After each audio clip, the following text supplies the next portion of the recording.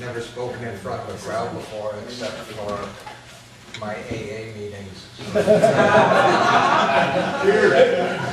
Say that? Welcome, Mark. Hi, my name's Was there a bigger crowd than this? spiritually known as the top Open here. up and say, we're all, we're all here because we're not all there. I didn't come here to speak tonight. Ryan bugged the shit out of me until I agreed to come up here. And I have these documents with me because I carry them with me wherever I go. I have like ten sets of them. And this is what I use to navigate my way through our, uh, this society that we find ourselves in. Um, I understand that I can drive around with no license plate.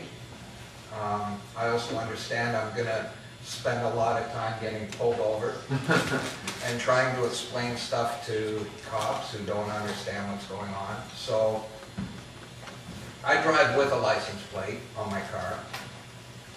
And vehicle's registered to a corporate fiction. Um, because I don't maintain a name.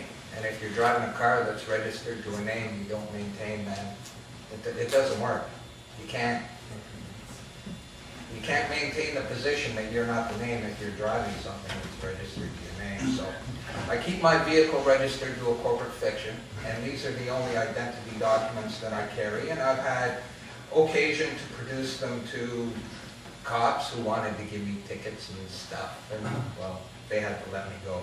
So, I'm just gonna share that experience I re, I recently had this year with the York Regional who,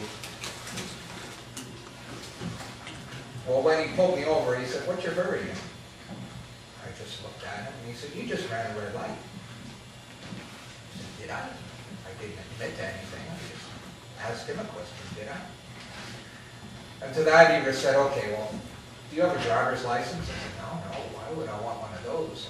And you got this. He I need license, registration, and insurance. And I just looked at him and I said, I'm ineligible for those benefits. And they got a puzzled look and he said, are there any documents in this car? Do you have any ID? And I said, well, yeah. I reached over and I handed him my statement of birth. Looked at it, read it, and he said, I need license, registration, insurance. I said, there is none. I opened the glove box, I said, look, there's nothing. There's, there's, there's no, there's no documents in this car. He said, is this car insured? I said, well, I presume so. I told you it's not mine. He said, well, whose is it? I said, well, it's, registered to a corporation. He said, well, whose corporation? Who owns the corporation? That's what he asked me.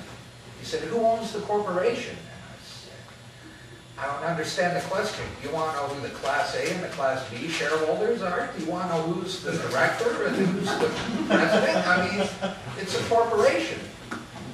And that's, that's when he gave up there. And uh, he took my statement birth, he stomped off back to his vehicle. And uh, after a little while, he came back and he walked around the back because he wanted to see if there was a sticker on my plate, I guess. And then he came back and he said, Today's your lucky day. Yeah. Well, that can't be bad. I can use a little luck. He said, Today's your lucky day because running a red light, no insurance, no registration, and no driver's license, that's at least seven hundred dollars in fines. I don't know where the hell he got that number, because to the best of my knowledge and belief, driving with no insurance is like five thousand dollar fine, isn't it? Something like that. But anyways, he had this number, seven hundred dollars, and he, he said, uh, he wagged his finger at me. He said, don't do that again. So I, s- so I said, may I have my document back? He said, oh, I gave you that. I said, No, you didn't. And he said, are you sure? I said, absolutely. So he went back to his vehicle. I mean, it's not like it's a driver's license thing because that's on his dashboard. It's a big, like, yellow thing. How could he not know he had that? But I realized that he was probably trying to take, keep my gun because he understood that if I drove away with that, this was what was protecting me. And if I drove away without it, he could have easily. I was that Yonge and sixteen, I was in the middle of Richmond Hill, there's cops everywhere, he could have, could have had me pulled over. But anyways, he, uh, he went back to his vehicle and he retrieved this document off his seat, and as he came and handed it back to me, "Take this, this." He said, don't do that again. So I took my document I, I drove away without saying anything to my cousin who was in the passenger.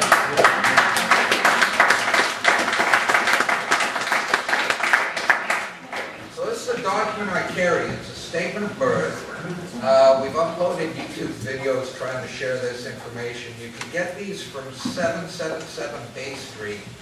Actually, you can't, no, they, they moved it up to I was. I was just about to say that, I was there two weeks ago on behalf of a friend, and uh, Ryan just informed me this morning, when I was speaking to him, that it's been moved up to forty-seven Sheppard. Yeah, forty-seven Sheppard, Yonge and East- Sheppard, there's a east small or place west? Oh, that's the there. park. It's Family It's uh, Park, is half a block uh, east of Yonge, It's Family on the Park. south side of Sheppard I know. Is where that courthouse is. I don't, I don't know why, we've been sending a lot of people down to seven, seven, seven Bay Street, and, uh, I guess they've become annoyed with us, so they moved it up there. But I have the statement of birth, which I have notarized and authenticated. Here's the only other documents that I carry, and I seem to be able to navigate around quite well with these. Um, Oh, this is cool. I like to get all my notarized documents authenticated, because when, that's an official document. Yeah. And it's more money too. Yeah, but, there, this is, uh, this is a page out of the police officer's manual. And I got it notarized, and then I got it authenticated, so it's, it's truth. And what we have here is on page 520 of the police officer's manual of criminal offenses and criminal law, we have the word person. And I'll dispense with all the, here's, here's the, the critical piece of information it says. The only person known to our law is the corporation. So if you're identifying yourself with government-issued documents, a driver's license, you're identifying yourself as a corporation and you are known to their law. If you're identifying yourself as a living soul and you're not using the issued documents that Rob was talking about earlier, then you're not known to their law. They basically have corporate bylaws. We all know Canada's corporation, the person's a corporation, and they've got all these corporate bylaws because corporations don't exist, only on paper. They're not real. And so they can't observe these common law laws. They don't, they don't see them. And so they've introduced these corporate bylaws, and, and that's in essence what they are. So that's good when you can show a cop, look, this is your manual, and this is what it says about person. Here's another document I have, it's on the letterhead of the Registrar General, and the Registrar General are the people who maintain the birth records, and they issue your statement of birth. And this is a letter on their letterhead, and it simply says, "To be clear, the Office of the Registrar General registers information about events. The Office of the Registrar General does not register people." And that's very significant. It's very significant when you understand what that means. And then, here's a good faith notice in case I don't feel like talking to a cop, I can just put this through my window and hand it to him. And it says, it's got the stamp of the Registrar General, it's got her signature on it, and it's notarized and it's authenticated, and it just says, with all due respect, officer, I do not maintain the name of any person in your jurisdiction. I am not entitled to any rights to any documents of identification you may seek by license. I provide you in good faith who maintains the birth name I am a recipient of and beneficiary protected by your higher powers. And his higher power is the Deputy Registrar General, who's named on the birth certificate. And that's what I allude to when I, I say I provide you in good faith who maintains the name. Judith M. Hartman, the Deputy Registrar General, maintains the name. I'm not in charge of it. I don't have signing authority for it. And then lastly, it just says, below, I humbly and peacefully provide you proof so certified under the Vital Statistics Act. Uh, 46.1, who has signing authority for the birth name which protects me as a witness? And uh, that's what I like to carry. It's very effective and it works. And uh, if anyone wants to ask me a question, I'll be happy to answer. Um, so you basically do contracting with police officers, You- is that, is it a form of commerce, or no? I, I, no, I choose not to engage. So that, that shows, the paperwork you give them, Well, this allows me, see, if a cop asks you for ID and you're not carrying any government-issued ID, well, you put yourself in a position where you're failing to identify yourself. The cop can maintain that you're failing to identify yourself by not producing ID. I'm identifying myself. by giving that. There's, there's a distinction, there's a very important distinction on the statement of birth that exists here and not on the birth certificate. It says surname and it says given name. And they're on two separate lines and there's a clear distinction made between given name and surname. Now, if you look at the birth certificate, it says name. And it's got them both blended together as one. It's a trade name. It's a corporate, it's, it's a, it's a trade name. And when you use that government-issued ID, you're identifying yourself as the trade name. So if I'm asked to identify myself, facts so certified confirm what I'm about to say, I say, someone asks me my name, a judge, state your name for the record, a cop, what's your name? My given name is Mark. What's your last name? Only corporations have last names, human beings have titles.